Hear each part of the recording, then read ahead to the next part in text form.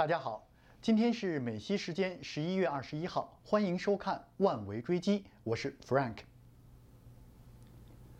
两年前，菲律宾与中国就南海问题对簿公堂，举世瞩目。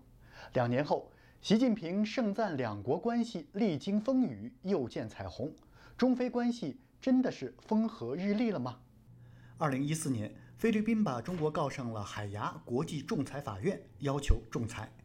二零一六年的七月，仲裁法庭判定中国以历史为理由的南中国海的主权声称没有法律基础，违反了联合国海洋法公约。随后，中国断然拒绝了海牙法庭的仲裁，中国与菲律宾的关系陷入了前所未有的低谷。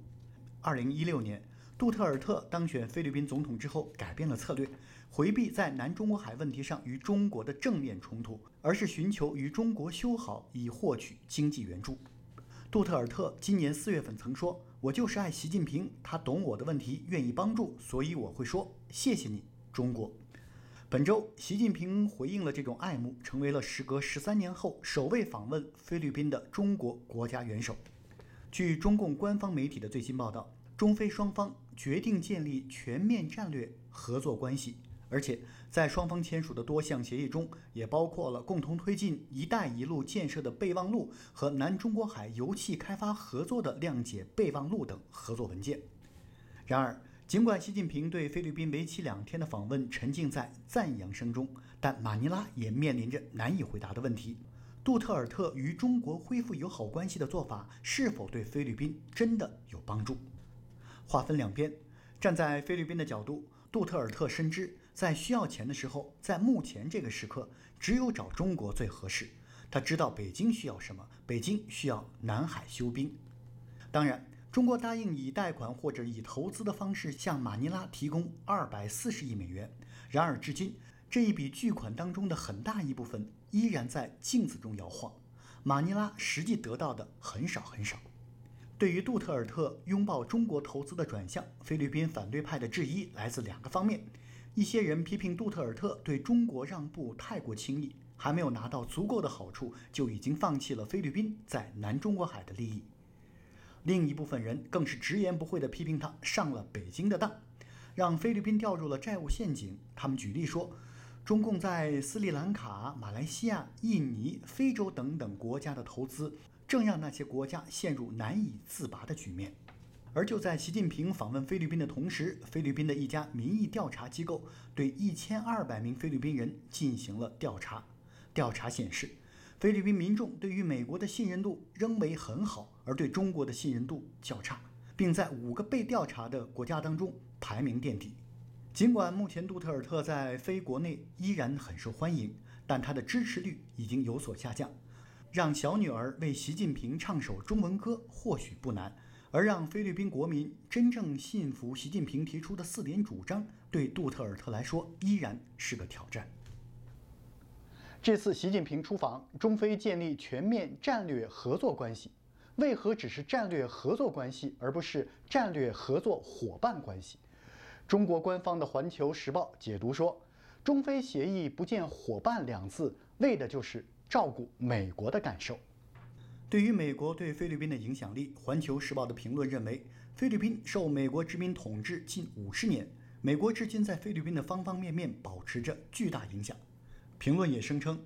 中菲合作绝非是在做给美国看，北京显然没有取代华盛顿在菲律宾影响力的想法，中方知道做不到这一点。而从美国的角度看，川普政府当然明白美菲关系的重要性。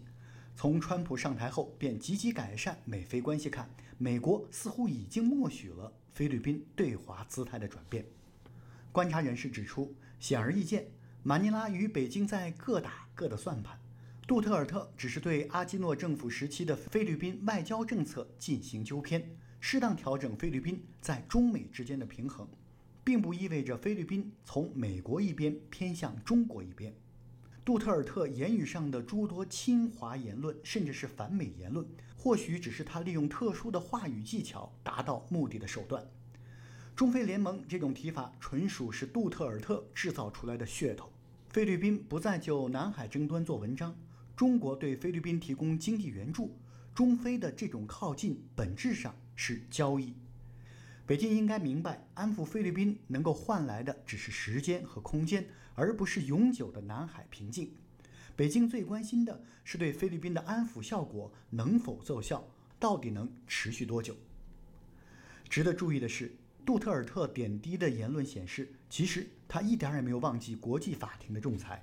他只是多次表示对中国在南海的行为无可奈何。他的表述比较奇怪，好像在隐藏着什么。十一月十五号，在东盟峰会期间，他说：“南中国海已经落入了中国之手，小摩擦恐酿成大祸。”